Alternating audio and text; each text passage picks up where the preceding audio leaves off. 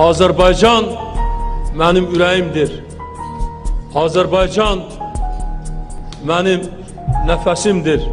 Azərbaycan mənim həyatımdır. Bütün ideyalarını Azərbaycanın üzərində qururdu. Azərbaycanın müstəqil dövlət olacağına böyük inamı vardı. Azad, demokratik və müstəqil Azərbaycan qurmaq istəyirdi. Təbii ki, söhbət ümummilli lider Heydər Əliyevdən gedir. Müasir Azərbaycanın qurucusu olan Heydər Əliyevin anadan olmasından bu gün 98 il ötür. Azərbaycan xalqının bəşəriyyətə bəxş etdiyi görkəmli şəxsiyyət 1923-cü il mayın 10-da Naxçıvanda doğulmuşdu. Gənc yaşlarından dövlət orqanlarında çalışan Ulu Öndər ömrünün, həyatının böyük bir hissəsini xalqına həsr etmişdi. Elə hakimiyyətə də xalqın ən ağır dövrlərində gəldi. Xalq yolunda mübarizədən bir addım belə geri çəkilmədi. Hər şeyi gözə aldı. Dəfələrlə demişəm, həyatımın son dəqiqəsinə qədər mən bu xidmət edəcəyəm.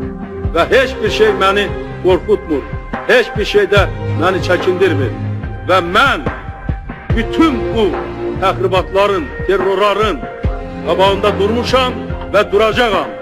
Çünki xalqını dərin və sonsuz məhəbbətlə sevirdi. Fəxr edirəm ki, mən Azərbaycanlıyam deyən dahi şəxsiyyət Azərbaycanlı olmağı ilə qürur duyurdu. Bütün zamanların ən böyük Azərbaycanlısı olan Ulu Öndərin dövlətçilik tarixində danılmaz xidmətləri vardı. Heydər Əliyev dövrünün nüfuzlu siyasətçisi, peşəkar dövlətçilik bacarıqlarına qadir olan dövlət xadimi idi.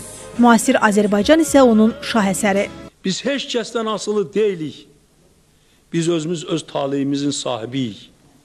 Bilirsiniz bunun üçün, yalnız bunun üçün aylarla əziyyət çəkmək olar. İllərlə əziyyət çəkmək olar. İllərlə ac qalmaq olar. Məhz bunun üçün. Öz həyatımdan, öz canımdan artıq Azərbaycanın müstəqilliyini qorumaq, onu saxlamaq, onu əbədi etməkdir. Hakimiyyətə gəlişindən bir il sonra 1994-cü ilin mayında Ermənistan-Azərbaycan arasında ateşkəsin əldə olunmasında hüquqi baza olan Bişkek protokolunun imzalanması böyük siyasətçinin münaqişənin həllində əldə etdiyi ən böyük diplomatik uğur idi. Çünki Qarabağın taleyi Heydər Əliyevin həllinə çalışdığı ən vacib məsələ idi. O torpaqlar üçün müvəqqəti olaraq Azərbaycana təcavüz edən erməni silahlı qüvvələrinin əl altındadır, onların tapdağı altındadır. O bizim üçün böyük dərddir, böyük yaradır. Ancaq ki, mən deyirəm, bu müvəqqəti haldır. Bizim o torpaqlarımız da işğaldan azad olunacaqdır. Dünyaca məşhur siyasətçi bu istiqamətdə mühüm addımlar atdı. Azərbaycanın iqtisadiyyatını gücləndirməklə yanaşı, beynəlxalq ölkələrlə əlaqələr qurdu. Təməlini qoyduğu siyasi kursun etibarlı əllərdə olacağına inanırdı.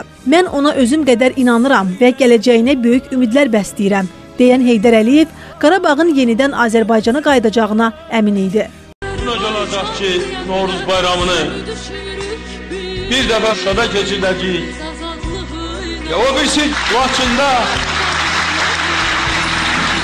o birisi Kəlbəcərdə, o birisi Ağdamda, o birisi Füzulidə, o birisi Cəbrayılda, Lənkilanda, Qubadlıda,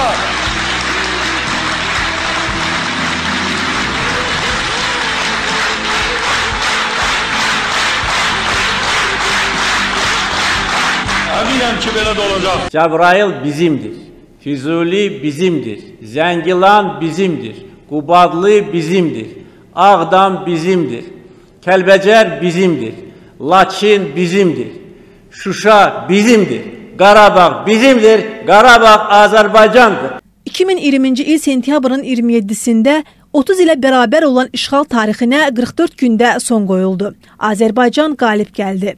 Ordumuzun gücü, Azərbaycan prezidentinin sərkərdəlik məharəti sayəsində təkcə işğal altında olan ərazilər azad olunmadı. Ali Baş Komandan həm də ümumilli lider Heydər Əliyevin atasının vəsiyyətini yerinə yetirdi. Ulu Öndər Heydər Əliyevin qəbrini ziyarət etdim. Onun ruhu qarşısında baş əydi. Ürəyimdə dedim ki, xoşbəxt adamam ki, ata vəsiyyətini yerinə yetirdi. Şuşanı azad etdi.